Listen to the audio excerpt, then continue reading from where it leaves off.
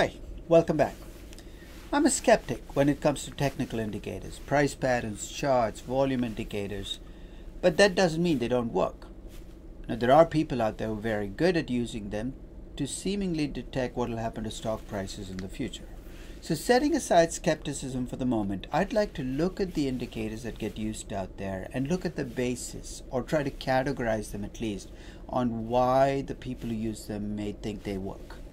So, let's set the table. When you look at the foundations of technical analysis, it's straightforward. It, uh, a technical analyst, or people who believe in technical analysis, believe that price is set by demand and supply. Who disagree with that? They'd also argue that supply and demand is set by new uh, individually is set by lots of factors, some rational and some irrational, and that markets continually weigh all these factors. That again is beyond questioning. I think everybody would agree that there are factors, rational and irrational, that drive supply and demand. The third assumption is what sets technical analysis apart from the random walkers. Technical analysts believe that stock prices tend to move in trends which persist for periods of time. Random walk, walker, on the other hand, doesn't believe that. But that's the basis for technical analysis. And finally, and this I think is, is a key part of technical analysis, that, that the key to making money is not just understanding demand and supply, but getting ahead of shifts in demand and supply. That technical indicators can allow you to detect those shifts before they happen. That again, that is, I think, the, the driver of value creation in technical analysis. So here's what I'd like to do. There are hundreds and hundreds of technical indicators out there. I don't know, I'm, I'm not even familiar with many of them. But I'd like to start putting the technical indicators that I'm familiar with into buckets. And as you start seeing other technical indicators, I think it's well worth the effort of putting them into buckets. What am I talking about? Every set of technical indicators is built on some presumption of market irrationality that market irrationality is what you're trying to exploit with that technical indicator. And might as well be open about what your behavior what behavioral component you're building on with the technical indicator. So let's cut to the chase. Here's the first one. There is substantial evidence and a lot of people who believe that markets overreact. They overreact to good news and they overreact to bad news. And this is backed up both, both by psychological studies and behavioral finance research in markets so let's say you believe that markets do overreact. And the evidence you showed point it up is when you see extreme movements in stock prices, you often see movements back in the other direction. If you remember the last session or two sessions ago, we talked about the negative serial correlation in very long period returns. And the bigger the drop or the increase in stock prices, the bigger the, the reversal seems to be of course, the skeptic might say, if that's in fact the case, that that markets uh, no overreact, why are there more contrarian investors out there, and why aren't they able to push the price back quickly? Why is there a drift in the price? Okay? And if if in fact there's overreaction, is it uh, is it more prevalent with some kinds of information than others? Is it, for instance, more likely with an acquisition announcement than with an earnings announcement, or are there no differences? So that's what technical indic- the first set of technical indicators look at is ways to take advantage of market overreaction. And here are three examples. There is a measure called the odd lot trading measure. Basically, you look at uh, uh, before brokerage houses, uh, before online brokerage um, became became par for the course. If you went through a traditional broker, there was a big deal made about whether you bought an even lot or an odd lot. Even lots are lots of 100 shares apiece, odd lots are shares of 35, 40, 55 shares. If you assume that odd lots are bought by small individual investors, and you further assume that individual those small individual investors are more prone to overreacting and these are assumptions i'm not i'm not agreeing with any of these statements then here's what you could do you could look for a jump in odd lot trading and argue that if there's a lot of odd lot buying of a stock that you should be selling that stock because those odd lot traders after all are more likely to get over enthused about good news and sell know, and buy too much after good news and sell too much after bad news. So odd lot trading becomes a kind of stand-in for the man on the street, the individual investor, and with the assumption that that investor is more likely to be the overreactor. The second actually moves up the spectrum. It looks at cash positions in mutual funds. equity mutual funds. If you look at equity mutual funds, in theory, these mu- these mutual funds tell you that they're going to invest all the money they get from you in stocks, but in practice they don't. Most of them hold some of the money you send them in cash. Why do they do it? Partly for you know, partly because they can't have everything invested all the time, but also because they are they, t- they take market timing positions. In other words if they're bullish about markets they will try to get you cash into the market right away. If they're bearish they will actually hold the money as cash. So here's a second or a second technical trading rule that's a contrarian rule. You look at the mutual fund cash positions. If the mutual fund cash position is high that means mutual funds are, are collectively bearish right you do the exact opposite. If mutual funds are bearish, you think that that you basically go out and buy stocks. If mutual funds are bullish, you go out and sell stocks. Again, effectively is saying mutual funds are my stand-in for the typical investor. They're far more likely to be overreacting, to be doing the wrong thing. I'm going to do the exact opposite. And here's the third technical trading rule that's built on contrarian investing investment there are investment advisors out there who put out newsletters and there are study there are actually surveys that look at the bullish and bearish proportions among investment advisors. So here again here's what you do. You look at the percentage of investment advisors who are bullish. If that number is really high you sell stocks. Why? Because most investors are bullish and you assume that investors overreact then they're being bullish for the wrong reasons. So you sell when they're buying and buy when they're selling. But in all three, what you're trying to do is get a stand in for the typical investor and go against the typical investor. Contrarian technical trading rules.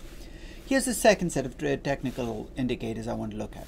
The second set of technical indicators try to detect shifts in demand and supply before they happen. So, for instance, um, there are there are people who look at normalized PE ratios. What is that? Basically, they look at the average earnings over time and look at what multiple of earnings stocks are trading at right now. Here's the rule they use. If stocks are trading at a much higher multiple of earnings than the historic norm, that, that smooth outline that you see in there, is there then they're overpriced. If they sell below, they're underpriced. Again, you are trying to detect shifts in demand and supply using some fundamental indicator, something that you can point to and say, hey, that tells me that, that something is going to change here. So here are measures of technical indicators, right? Essentially, uh, you could look at the breadth of the market. What is the breadth of the market? It's the number of stocks that advance in any given period, a day, a week, a month, relative to the number of stocks that decline. So the higher the number of stocks that go up relative to the number the broader the market. How is that used? If you have an up movement in the market that is not accompanied by breadth, in other words, markets have the, the overall index goes up, but it's being caused by a few stocks jumping in price rather than a bun- uh, uh, the vast proportion of stocks going up. That is less bullish than a price increase that's accompanied by a broad market. Similarly, a drop in the market that's caused by just three or four stocks is less dangerous than one that's caused by 70% of stocks dropping at about the same time. The second is support and resistance lines. You hear talk of this all the time from chartists. A stock that's at 28.50, 29, 29, 25 goes through the $30 mark, which is viewed as a major resistance line. That's viewed as a bullish sign that you've gone through a resistance line. On the other hand, if you have a stock that's dropped in price from 31 to 27 to 25 to 23, but it stayed above 20 for a long time, but then it drops below 20, the fact that it dropped below that $20, the support line is viewed as a bearish indicator. Again, it, it, it the assumption here is when you go through a, uh, a resistance line or drop through a support line, something happens in the market and demand supply lines shift. So when you go through, go below that twenty dollar you know, support line, effectively you see a whole bunch of selling supposedly coming into the market, causing the stock to go down even more.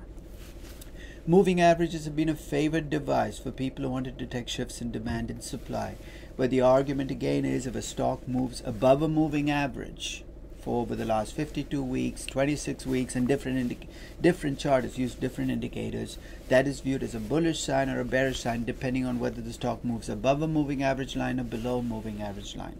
And finally, shifts in volume are often also used in conjunction with price indicators as measures of are we seeing a shift in demand and supply? A sudden surge in volume is often viewed as a sign that something is changing under the surface, even if prices are not changing. So the first set of indicators are contrarian indicators. You're looking for ways to go against what the typical investor, whether it's a mutual fund, an individual investor, or uh, or a newsletter writer, is, is is thinking. The second set of indicators are indicators that try to, to, to, get ahead of demand and supply, shifts in demand and supply. The third set of indicators build on something we talked about a couple of sessions before, which is the force of momentum. Markets of momentum. When stocks go up, they tend to keep going up. When stocks go down, they tend to keep going down. And the evidence, as we saw, is fairly strong, at least over certain time periods one year periods, six month time periods. They get weaker as you go to longer time periods. If you believe there's market momentum, then you're going to be looking for momentum indicators. One of the oldest and most widely used momentum indicators is called relative strength. Sounds fancy, but here's what you do you take the price now, you divide by the price six months ago. So stocks that have gone up the most will have the highest relative strength. So if you're a believer in momentum, you're going to go with the stocks that have the highest relative strength, and you sell those stocks which have the most, the lowest relative strength, where the price has gone down relative to the historical price. You can also use trend lines, where essentially you try to fit lines through graphs and you see how your stock is behaving relative to the trend line. And if you notice a trend line that's upward sloping, that's sign of that's a sign of momentum. So even if the stock is zigzags, if there's a positive trend line, it's viewed as a sign of momentum. That's good news.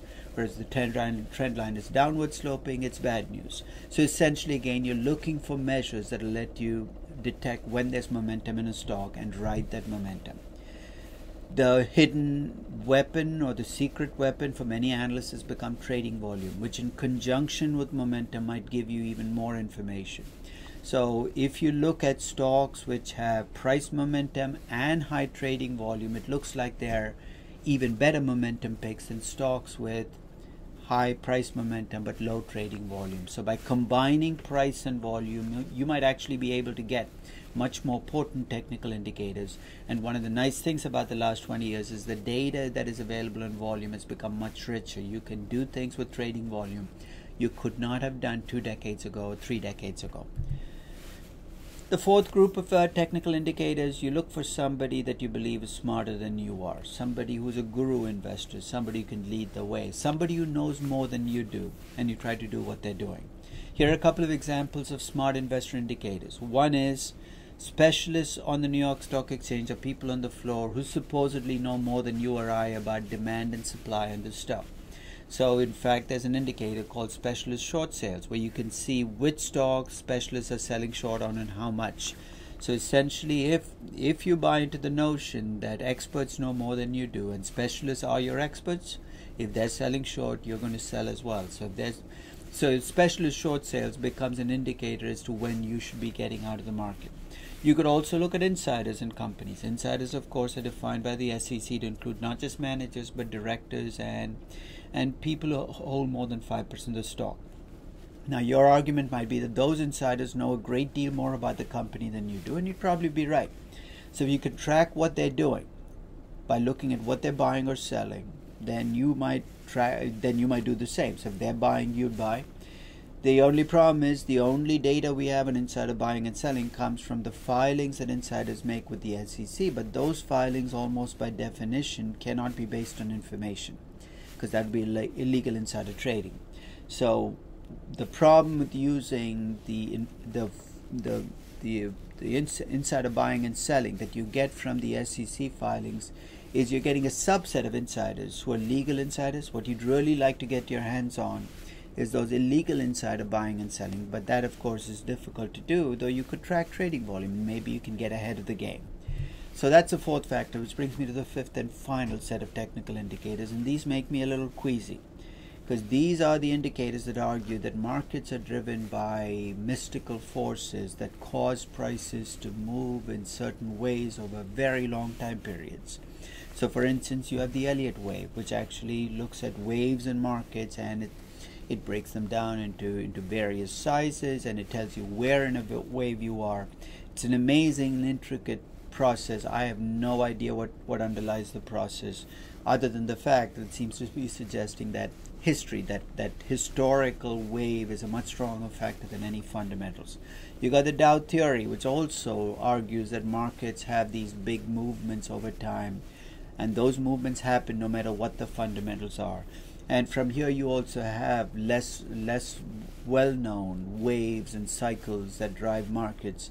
But to the extent that you do believe that markets are governed by the by the stars and by external forces, you might in fact decide to use those technical indicators.